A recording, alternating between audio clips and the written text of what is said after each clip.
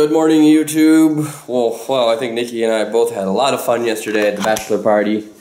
Yeah, it was a lot of fun. I didn't get drunk or Yes, it anything, but. I'm like exhausted just from staying out late last night. Yeah. Not well, and it sticking was like, I think we left the club. We were in the club at 1.30 we left, and we had to go all the way back to Caitlin's house, which was maybe about I don't know 30 minutes, 45 minutes. We had to drive all the way back to our house, so we got home about 2:30. I stayed up till 4:30 editing my first cooking video. Posted it. I meant to do that before we left yesterday, but I didn't get time, so there'll be a little link in an annotation. You can click on it. Homemade lemonade, great video. Please support the channel. I really appreciate it. But today we're going to the USS Iowa. I got puked on. And Nikki got puked on. Good job. Well, John and I figured why not like revert back to our going out tradition of the mm-hmm. next day in and out burger. we're treating ourselves to a burger and fries and we're going to eat in the car on the way down to the battleship and this is the first time my dad's going to have an in and out burger. Never had one before. Are you excited about NPR? No. John always listens to talk radio. Right down, John is like 60 years old. I felt 60 at that club last night. It reminded me of like Wild Hogs, like the movie. A bunch of guys getting their motorcycles and driving around trying to be cool. It was like a bunch of guys with like girlfriends and wife and kids. We're all just standing there like drinking, looking cool. Like, oh, we're cool. I felt old. I felt like after we took our pole dancing class, I was like, huh, it's getting late. We're really, we're gonna go out. It's already 11 o'clock. we're not going home after this. Yummy, yummy, in and out on my lap. Mmm, I bet you can't wait to try your first in and out burger. Well, we're here. This is a really big battleship. I didn't know the ship would be so big, but I don't know that much about this type of stuff. Pretty cool though, I think today will be really interesting. I only managed to spill a little bit of food on my shirt. Taking Iris and the baby Bjorn. I'm so excited. Yeah. This is like such like a cool part of American history. Just how like our freedom is defended and established, and it's a serious piece of war equipment. Cool. Did you like your first In and Out burger? Yeah, it was alright. I think I would like it without the sauce. I'd The like spread is what makes it the best. We brought the baby Bjorn today because we're gonna be going up and down a lot of stairs on this ship. We made it aboard. These are the famous 16 inch guns. They fired 16 inch shells, 20 miles, 500 pound shell, pretty impressive. It's uh, American firepower at its finest back in the day, right here. Oh, there's a cap. Yeah, they always. I don't. They, I don't think this is the cap they put on when it was at sea, but they kept a cap on it to keep the barrels clean. Oh, I wanted to stick my head in there, but I can't. They put the cap on, keep the seawater out. These are gigantic bullets. That's a more modern shell, I think, and that was like an older one. The term "let the lead fly" came from. These Fire- are all the firecracker. different shells that they shoot. This one, Jim, you know, Judy's, remember Judy Sure. over there? His dad would go up, because he was, he was on a cruiser. Mm-hmm. He was a pilot on the cruiser, they, you know, on the seaplane. Yeah. Shoot the seaplane up, he'd go out and he'd scout, and then he'd, when they shot these kind at the Japanese fortifications, he'd clip off the walls. Whoa. It's cool to get the boys in their element. Then they talk a lot more. This Whoa, what this is a long one. Well, this is how they load like they load the shell in and they ram it up there. And then Oh, that's all powder? in behind it, and they close it and they light those on fire, and that's what too shoots bright it. for you? Yeah, we have to get her inside here. John told me to grab her hat and I accidentally forgot it. Hopefully she'll be okay though. Caitlin was saying that Bella went out all the time outside in the sun and It was just nothing ever three, happened. Three or four months you're really supposed It's to like, keep her in the six. It's supposed to be the first six months, but, No, but she's it's like five actually now. like the first like three is the worst because there's So soft. Yeah. But she's I mean, now. it's sunny out, but it's not like terrible. I think she'll be okay if we're just outside for like five minutes here and there. Right, Iris? You'll be okay. We just came inside and there's a bunch of pictures of the ship when it was uh, active in wars and stuff. So here is the Korean War. Vietnam. Ooh. Pretty neat, huh? Yep. A lot of history here. Cool. A dog!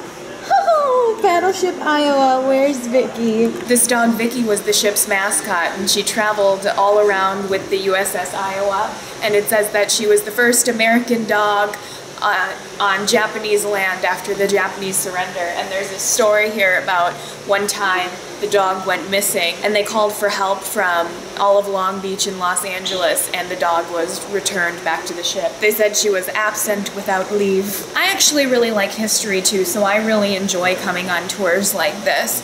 And it's just so great to see how excited John gets and how excited my dad is getting about being here. More pictures. Iris, we're on a battleship. What do you think about that? There's kind of a cool picture over here, and I had no idea about this. Look at the water. This is what the water does when you fire a cannon. Did you did you already know that? It's gigantic cannon. Well, yeah. It's a gun, technically. Here is the executive officer's stateroom. Oh, cool. There's actually so much to look at here. Now we're going into the staterooms. That's what it was called, right? Yeah. It's like, you know, for the higher ranking officers and commanders and captains and things like that. I think the captain's room is closer to the bridge. And, but if you had a room like this, I mean, you were Pretty high living up there. high. But, I mean, you know, living high, but they worked hard to get to certain ranks. And you Yeah. have perks and stuff like that. Some bunk beds here. You can't be very tall on a ship. The ceiling's like right there. So, I wonder if there are many like six foot seven men serving in the Navy. We found the bathrooms. There's tile and everything. Whoa, that would be a really far drop. Why would why do they have a hole like that? That's the gunpowder canister hatch. Oh. Yeah, there's a sign right there. And they, John, you're so knowledgeable. Yeah, they run all the gunpowder up those holes from the bottom of the storage, and then they run them outside That's here. crazy. Yeah. It's a long way down. Oh, is it's bench time. just right over here. The uh, Queen Mary's just over up, there. guys? So we We just go having ahead and come time? around that. All right, on to level two. this is really you a get to neat tour. stairs. It is. If you are ever in the Long Beach, San Pedro, you know, Southern California, you're looking for something fun to do for an afternoon, I would recommend taking this tour just because you learn so much about America's history and you get to see just this really cool historical. I would say land. It's a ship. I don't know. I think it's a landmark now or something, destination, but it's really just really cool. Well, we've entered the captain's quarters, and it looks pretty fancy in here. President Roosevelt actually rode on this ship. They have a sitting area over here. What do you think? Called, uh, the USS Iowa, the battleship presidents, because I think a couple presidents actually rode on the ship in active war zones. Wow, it extends to in here as well. The captain's quarters are big. Yeah. There's a bed here. Then he's got his own private bathtub. Ooh, that's not a bad tub. That's a big bathtub. Bigger than the tub at our house. Like the why I wanted to be captain of this ship was really just for the bathtub. So he had an air conditioner. Wow. the captain had his own cook as well. Iris is starting to get a little bit fussy. I will feed her in the car after the tour. I think she's getting hungry. Baby girl. Or we're not, or you're not walking enough. She likes to be constantly moving when she's in her baby Bjorn.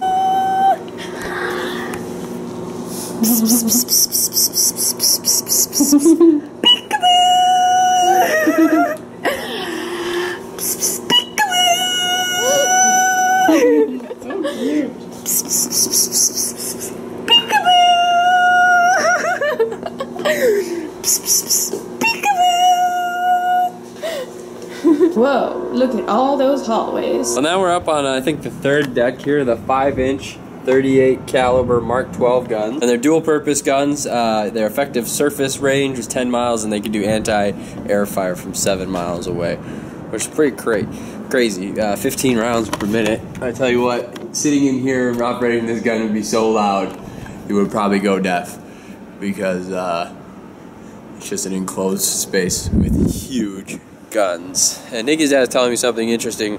Uh, there's two of these big gun turrets on either side, and the Navy ran one, and the Marines ran the other one because the Marines would always set out on a ship with the Navy because they would like be a fighting force on the ship if it was ever taken. You need Marines to protect the boat, and then all the Navy crewmen would operate the boat. So it's pretty cool.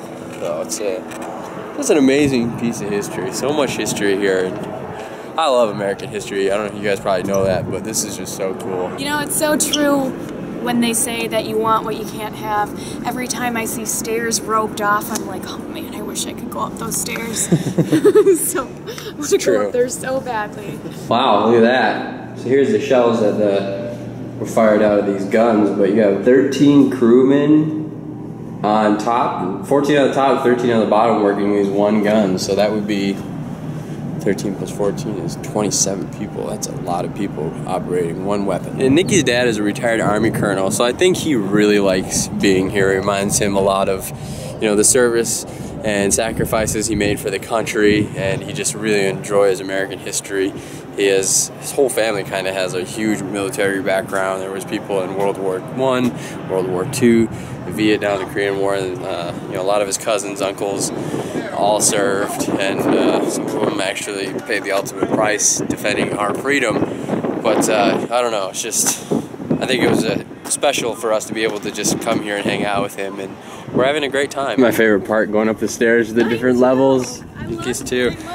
But this is also just a fantastic tour for kids. You, they learn a lot about American history, and they get to kind of run around this awesome battleship and just, uh, you know, enjoy being here. So if you have kids, I would definitely recommend bringing them to a, you know, a battleship tour. There's a couple different battleships stationed all over the country. Uh, my brother and I went out on the USS Mobile, which was in Alabama a while back, and that was a great time too. I think Iris has learned a lot. I think she's ready to write a paper.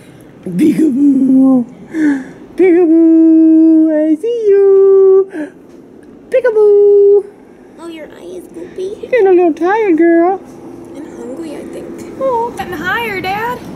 Yep, all the way up the bridge. Yeah.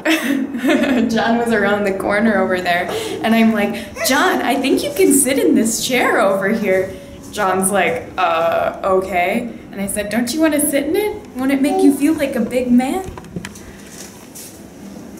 I'm not quite sure what they did from this chair. It was the chief of staff's chair. I'm sure he was in charge of a lot of people or doing something. But this would be, I think you would sit here with binoculars or something like this. But this would be like a pretty uh, Good nice view. job sitting in this chair. Dolphin! What?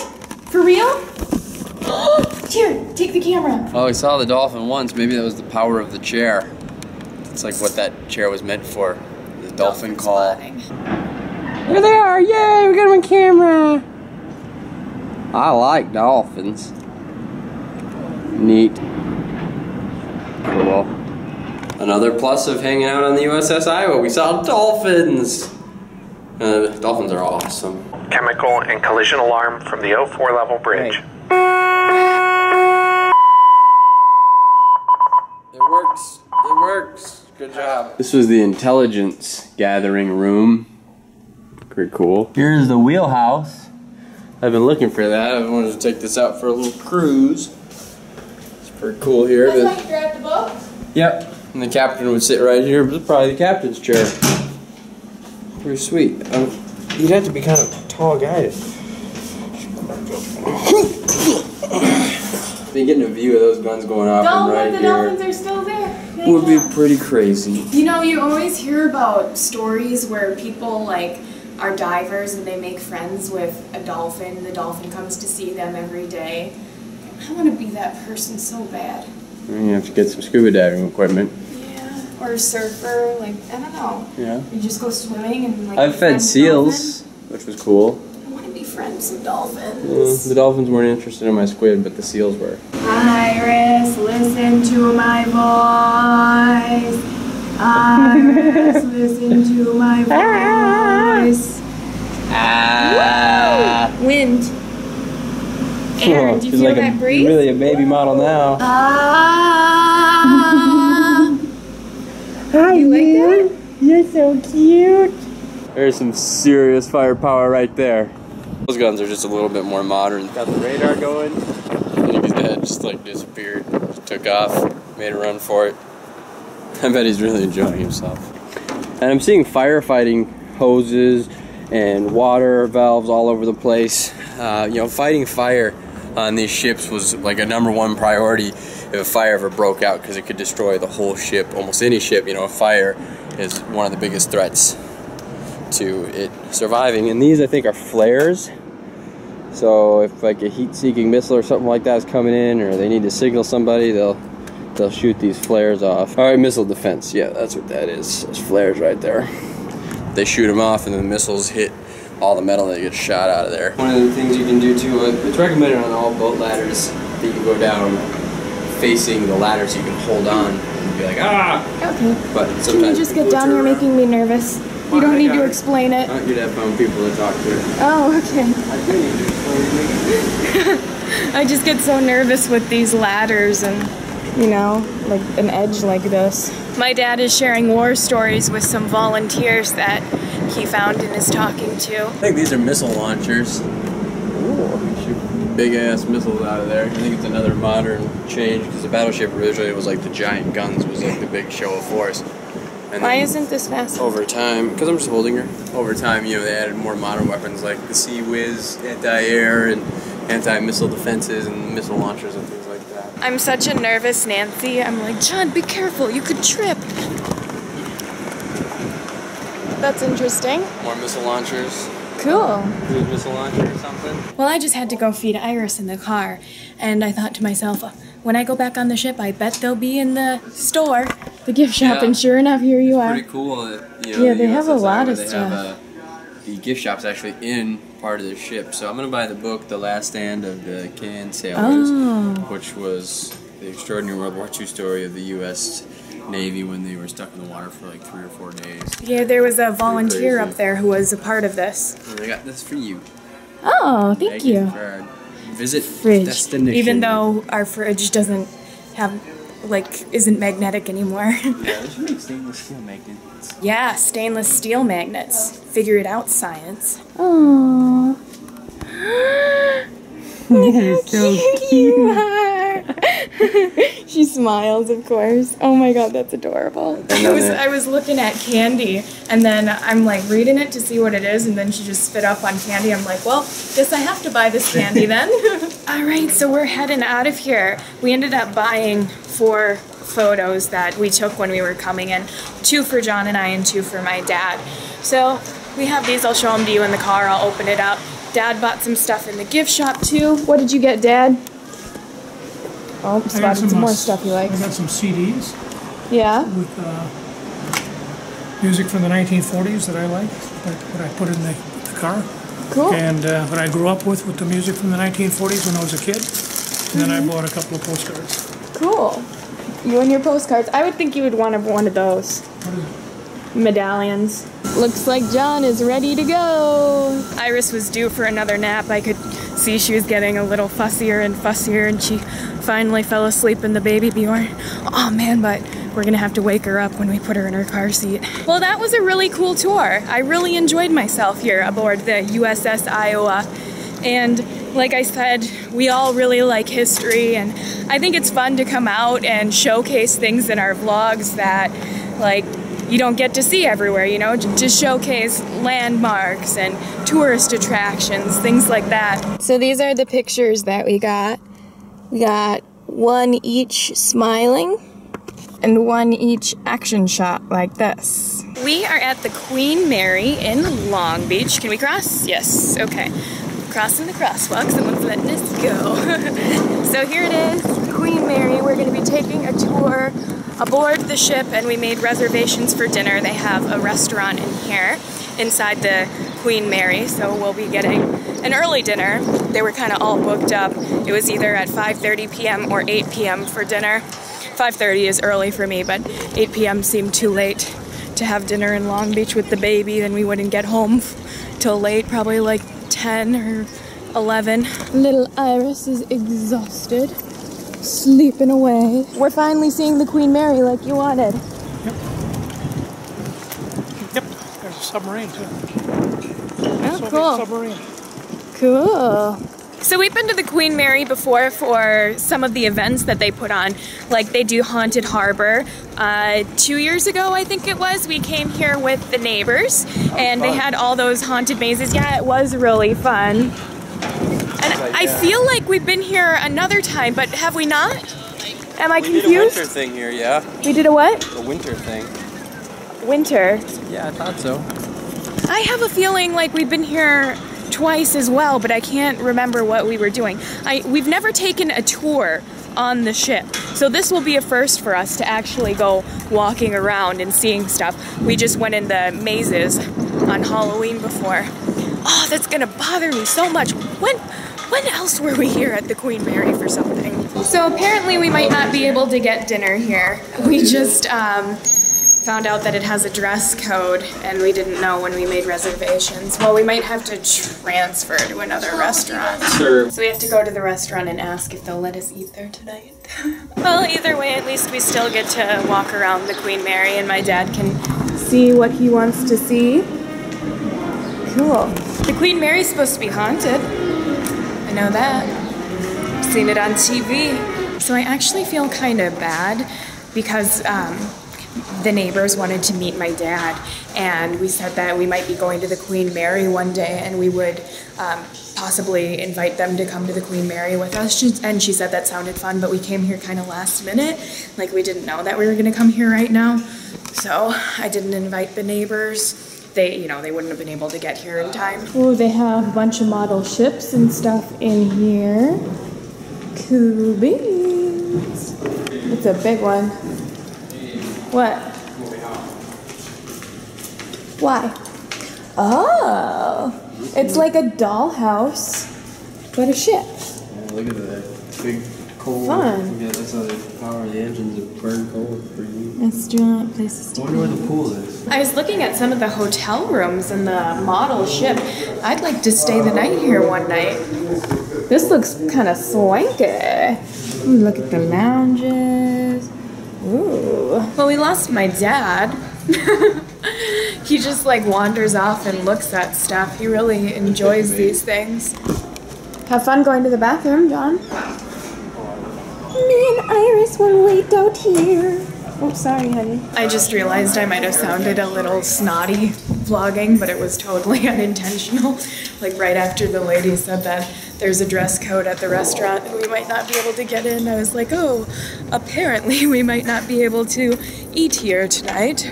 We might have to go to another restaurant. I said it right in front of her. I'm like, oh, she might have thought that it was kind of like addressed her. No, just saying what's going on. Now I have to find my dad and John. They disappeared from me. I had to use the restroom and they kept on going. So I'm outside on the deck. See if I can find them anywhere. There's some guns on the ship here. I wonder why that is. eh, Why they have to have guns if it's a, a like passenger boat not a battleship. Maybe they have to fight off pirates or something. I'm just having my own little fun journey walking around. I'm vibing. I'm feeling some vibes. Just walking down this long hall here. They have some like olden day music playing in the background. Feel like I'm in a, another time, walking a, along the deck of a big ship. I'm so lost. I have no idea where everyone is.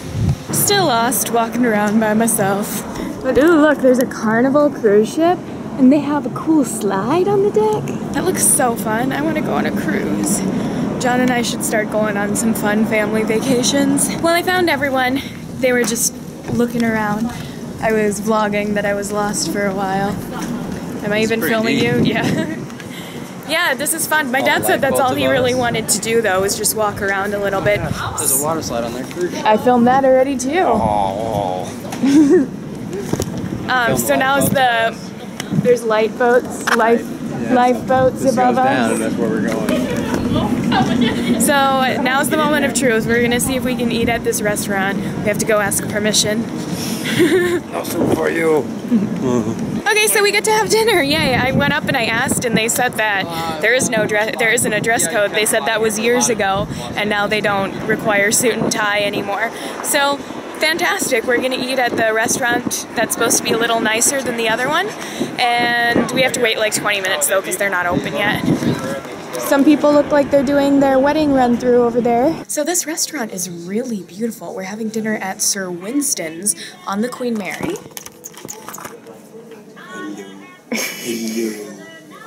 You're a sucker for Iris. Look at these chairs. They're soft. Yeah, looks like a, a nice restaurant. And we can look out the window here and see the ocean a little bit. Nikki is walking Iris. She's getting a little fussy, so we're trying to put her to sleep. But I have French onion soup. She's got lobster bisque. This is a mushroom souffle, shrimp cocktail. Shirley Temple over there for Crazy Nikki, and uh, lobster bisque. So we're just waiting for Nikki to get back, and we'll dig into the appetizers, and then we'll order our entrees here after that. But this food looks really good. Well, I'm finally back and I can try these amazing hors d'oeuvres, and they're so good. Mm, my chicken is here. It has a wild honey glaze. You didn't add pepper to your food, I'm concerned. It has plenty of seasonings on it. Foster. You want to show off yours, Dad? I got a flower. Dad got duck breast. Supposed to eat this? You can. It's an edible flower. It's edible, It's working. just like we have at our house. We're done with dinner. We're just waiting for the bill. Iris woke up, is fussing a little bit, so Nikki took her out to the lobby. And I'm gonna pack up all our stuff here, and we're gonna hit the road and head home and see what the dogs are up to. Dang, Long Beach looks good at night. It's actually really a pretty shoreline. All right, here. When we're done eating, we got Iris, and Nikki's dad, and we're headed to the car. What a wonderful day. Uh, we really enjoyed the USS Iowa.